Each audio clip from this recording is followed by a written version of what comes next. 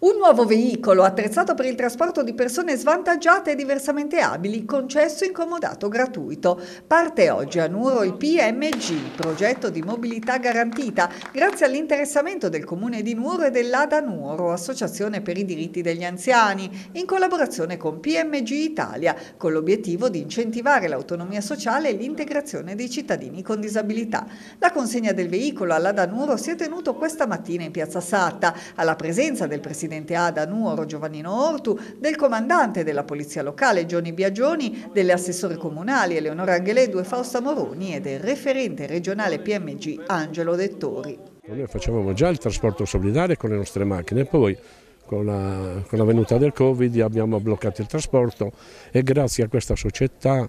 la PMG, che eh, ci ha dato l'opportunità tramite gli sponsor di Nuoro di avere incomodato questa macchina da poter fare questi servizi a tutti i nostri cittadini, soprattutto agli anziani, quelli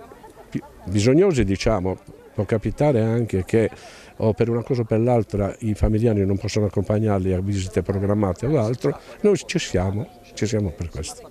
Un momento solidale reso possibile grazie al sostegno di tanti imprenditori locali sponsor che hanno finanziato l'iniziativa abbinandovi il loro marchio nel nome di una comunità più accogliente per i suoi cittadini più svantaggiati. Il veicolo attrezzato permetterà infatti a chi ne farà richiesta di usufruire di servizi di trasporto sociale di vario tipo, dal tragitto casa-lavoro alle attività del tempo libero fino alle cure mediche. Uno spazio piccolo come quello di un monovolume per spalancare ai cittadini con disabilità un mondo di opportunità fino a quel momento spesso soltanto desiderate.